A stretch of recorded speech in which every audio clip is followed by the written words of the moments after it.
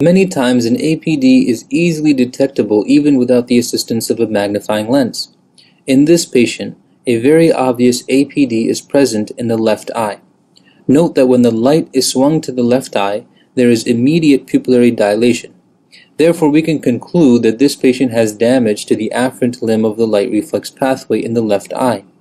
There is reduced afferent input to the midbrain and therefore reduced efferent parasympathetic output to both pupils, resulting in pupillary dilation when the left eye is illuminated.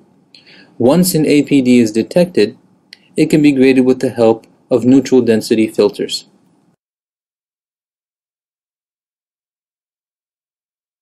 Now let's describe in detail the swinging flashlight method and magnifier-assisted swinging flashlight method in a patient with a more subtle APD.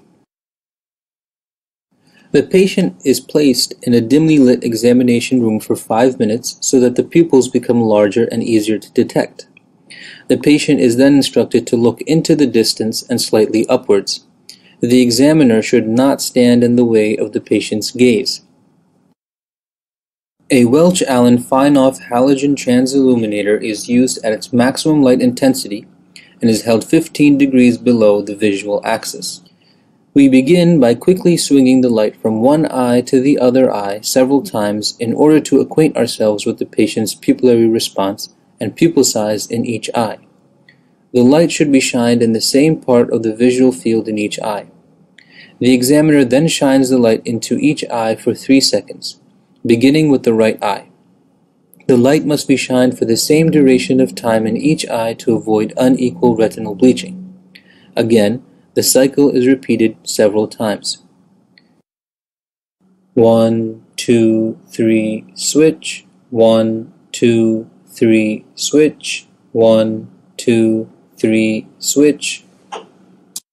So we see here that the APD in the left eye is subtle and not easily detectable by the swinging flashlight method. The sensitivity of the swinging flashlight method can be increased by using a magnifying lens during the examination.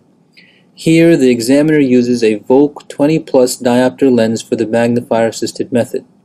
The high plus lens is held in front of the eye without touching the eye. The lens is always held in front of the eye chosen for observation. The exam is then conducted in the same way as previously described.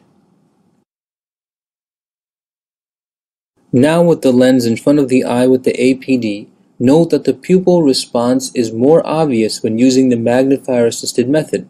The left eye initially constricts and then dilates. Here in case 3, we will see another APD in the left eye.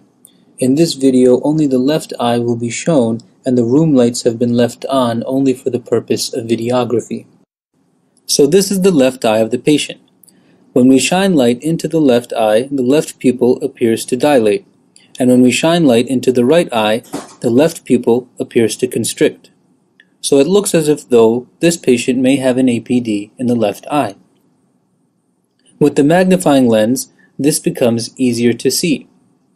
So here we see constriction and dilation. Constriction and dilation. To conclude, we will hear some closing comments from Dr. George Spaeth.